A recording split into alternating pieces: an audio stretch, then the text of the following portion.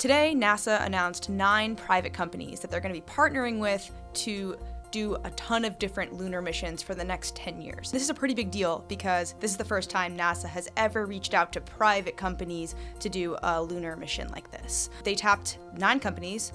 They are from all different areas of the country, and a lot of them we probably haven't heard of before. They're Astrobotic Technology, which is in Pittsburgh, Deep Space Systems from Colorado, Firefly Aerospace from Texas, Draper from Cambridge, Massachusetts, Lockheed Martin Space from Colorado, Masten Space Systems from Mojave, California, Intuitive Machines from Houston, Texas, Moon Express, which is from Cape Canaveral, Florida, and Orbit Beyond, who are based in Edison, New Jersey. These are nine companies that are going to be part of NASA's new catalog. So they'll basically just throw out a problem and then they'll say, okay, like, who's going to solve this problem? Who's going to do it best? Who's to do it the cheapest. So one of the big points that Jim Bridenstine, who's the NASA administrator, made is that this is sort of coming out of the White House Space Policy Directive 1, which is basically when Donald Trump said, NASA, you need to start looking for private companies so we can, you know, partner and build this United States private aerospace partnership with with NASA and sort of help grow this industry. But we've really been talking about private space for a long time, and this is just one of like a series of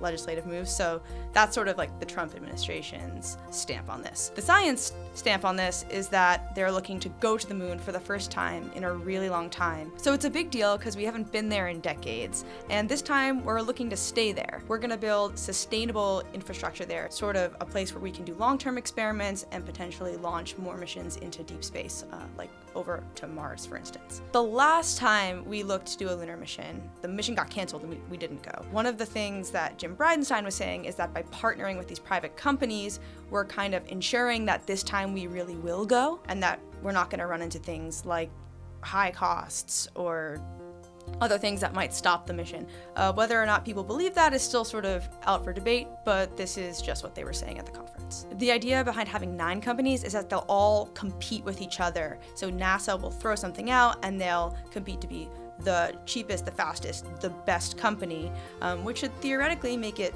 cheaper and should drive innovation forward. The idea is that they'll basically be trying to one up each other over and over again. And they're looking to actually expand this catalog to more companies. So in five years, we might have another aerospace startup that gets tapped by NASA to join this sort of like elite club. This is a big deal and it's really exciting. It's going to change how NASA does business, it's going to change how private companies approach space, and we were really excited about it and we wanted to share it with you. Um, so if you want to hear more about it, you can like and subscribe.